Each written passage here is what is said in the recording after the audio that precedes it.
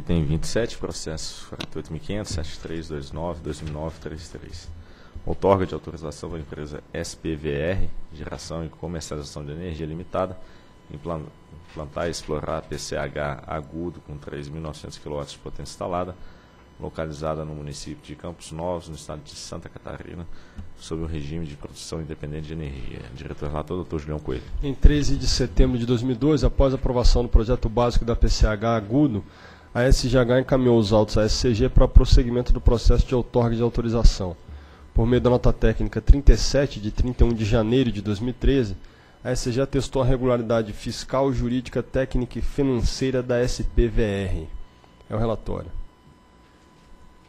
Procuradoria. Não houve parecer. À vista do pedido de registro da SPVR para realizar o projeto básico ter sido formulado em 30 de novembro de 2009, aplica-se ao caso a Resolução 343, a qual estabelece seus artigos 14 e 15 os requisitos para emissão de outorga, os quais foram cumpridos na espécie.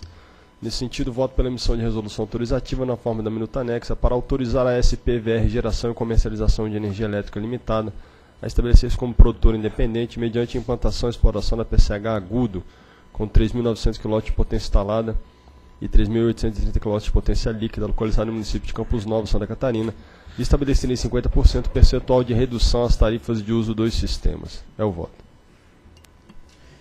Aqui em discussão. O que, é SPR, SPVR? O nome da empresa, né? Não é Tem, agora o que. É o que não. Não sei o que significa, não. Em votação.